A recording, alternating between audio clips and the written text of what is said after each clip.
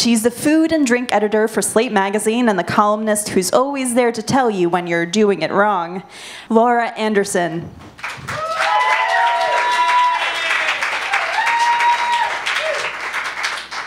Hi, um, I'm Laura Anderson. Thank you so much for having me, Eleanor and Ksenia. I am here today to talk about the 2000 Lasse Hallström movie Chocolat.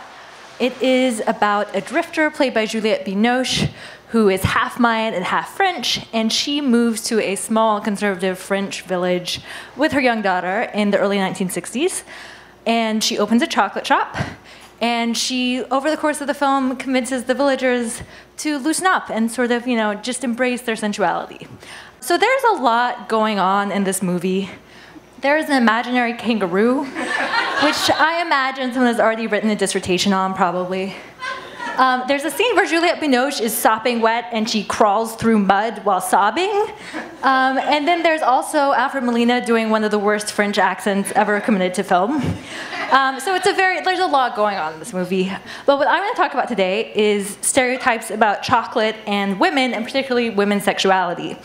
So uh, several months ago for Slate, I wrote an article about the stereotype that women love chocolate. I'm sure that you are familiar with the stereotype. It's just the idea that women are crazy about chocolate and that we crave it all the time, but like especially when we are, you know, having PMS. And there's also this idea that like women like chocolate better than they like sex.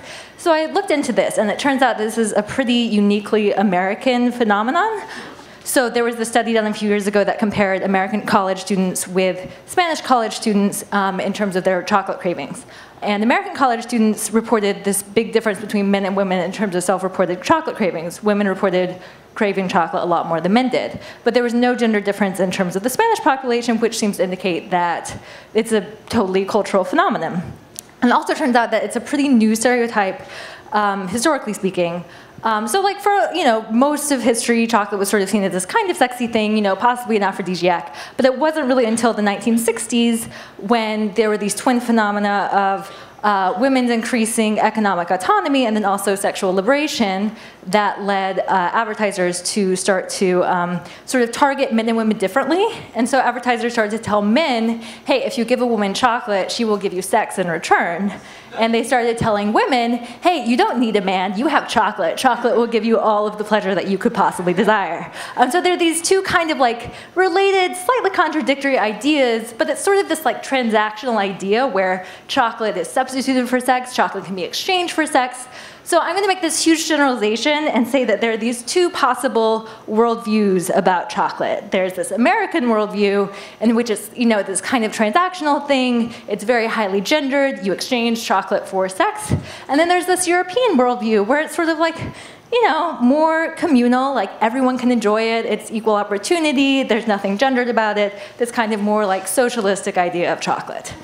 So let's see which of these stereotypes Chocolat embraces. First things first, there's definitely a relationship between chocolate and sex in this movie. Uh, the main character, played by Juliette Binoche, her, the character's name is Vianne, she is presented as a very sexual person.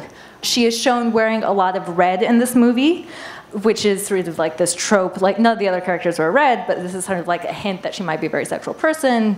For some reason, there's this scene early on where she is painting her new store, her new chocolate shop, and she's wearing this ridiculously low-cut blouse. It doesn't look like a very practical blouse to be wearing when you are painting a store, and yet she is wearing it because she can't help it. She's just too sensual.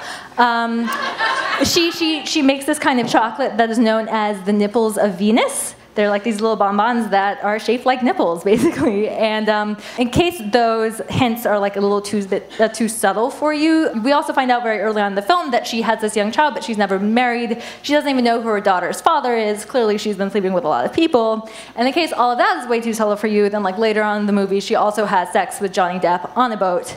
And they have shockingly little chemistry in this movie. It's really amazing that they have no chemistry at all. Um, so now I wanted to look at the effects that the chocolate that she makes have on the people who eat it. So this is, here, I can talk over this because there's no dialogue. Um, so one of her first sales is made to this kind of frumpy housewife. Um, she sells her some bonbons and then she gives her this free little bag of cacao nibs, um, which she tells to give her to her husband, that's her husband um, because it will awaken the passion. So let's see what happens when he actually eats these cacao nibs.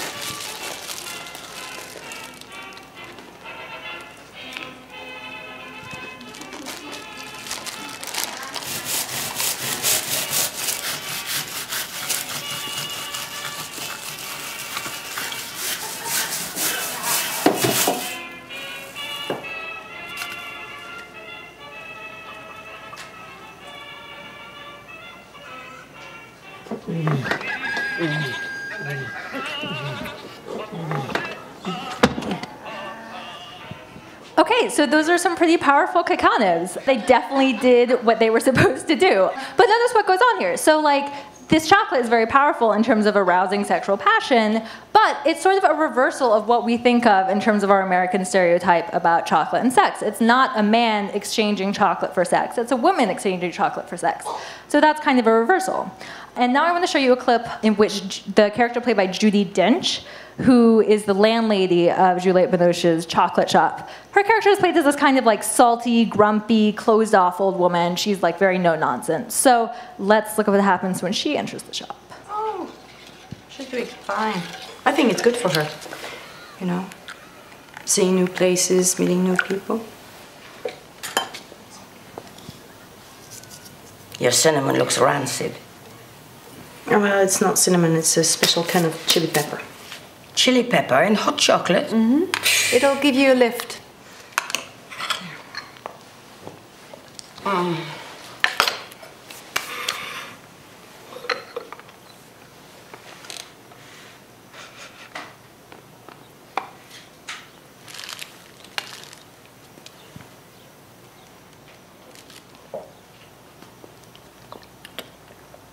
Tastes like I don't know.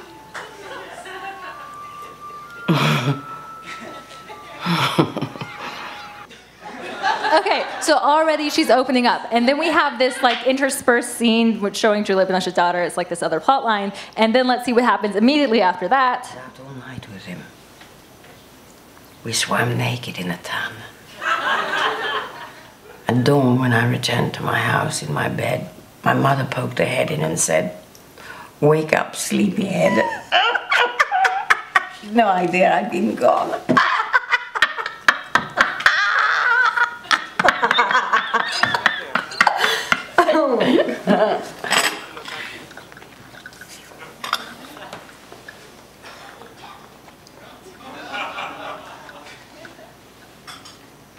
Sure you didn't put booze in there? Something better.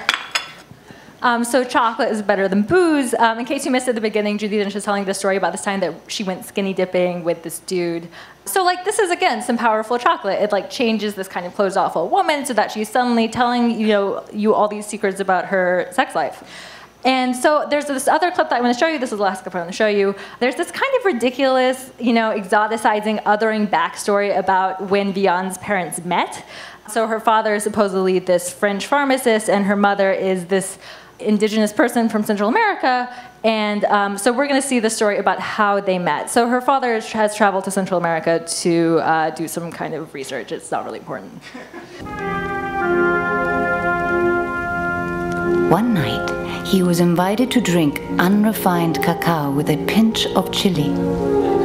The very same drink the ancient Maya used in their sacred ceremonies.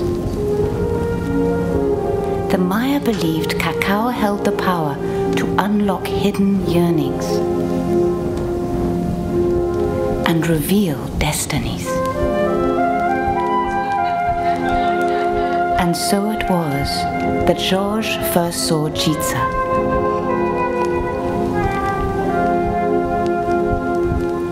Now, Georges had been raised a good Catholic.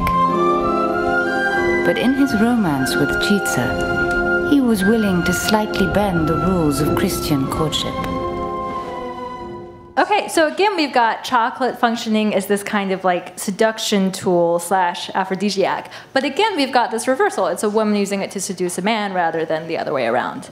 So there is this plot line in the movie in which chocolate does sort of like take the place of a man. So there's this character played by Lena Olin who is in an abusive marriage. And at the beginning of the movie, she's this like total hot mess. She's a kleptomaniac. Her hair looks horrible. She like, you know, she can barely like string together a sentence. And then eventually she meets Vianne. She starts tasting chocolate. She gets up the courage to leave her husband. And by the end of the movie, look, she's very, very happy and she looks, you know, incredible. It's like chocolate has worked wonders on her. So in this sense, it's like chocolate is sort of. I mean, she she also starts to like work in the chocolate shop. Um, so she kind of like gets this newfound independence. So in this case, it's like chocolate is sort of taking over this role of a husband, basically. But I think the more important lesson to be drawn from this storyline is that not if you have chocolate, you don't need a man, but if you have a job, you don't need a man. I mean, this is a feminist fairy tale basically set in an era when feminist causes were pretty black and white, and I feel like that's sort of what this plotline is going for. And then also, I think, is chocolate is what brings Josephine, the Lena Olin character, and the Juliette Binoche character together. They form this friendship, and there are these other relationships that are formed um, with the aid of chocolate. We've got Judi Dench and her grandson, um, previously estranged, but because of chocolate, they come together. And then like, you know, she just like makes all these friends in the village and they all come together to make chocolate at the end of the movie. It's like chocolate is just like bringing people together, not necessarily in the sexual way, but just in this sort of community way.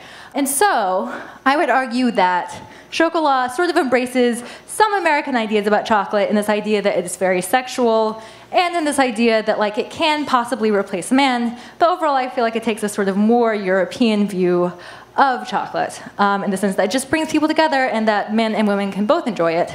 And overall, it presents chocolate as being, I think, a symbol of women's strength and empowerment as opposed uh, to a symbol of women's weakness, which is how we often see it. So I think we can all get behind that message.